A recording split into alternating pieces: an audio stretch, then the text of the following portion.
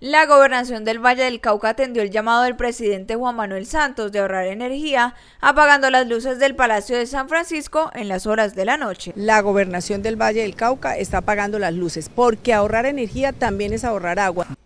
De igual forma, la gobernadora enfatizó que desde que llegó impulsa estas campañas para ahorrar en los servicios públicos del edificio de la gobernación y entidades descentralizadas. Yo pasé una circular para que todas las dependencias, después de que terminaran de trabajar en la noche, apagaran todas las luces. Eh, pues habrá algunas que no podemos apagar eh, hasta que no salgamos, por ejemplo, yo salgo tarde de la gobernación.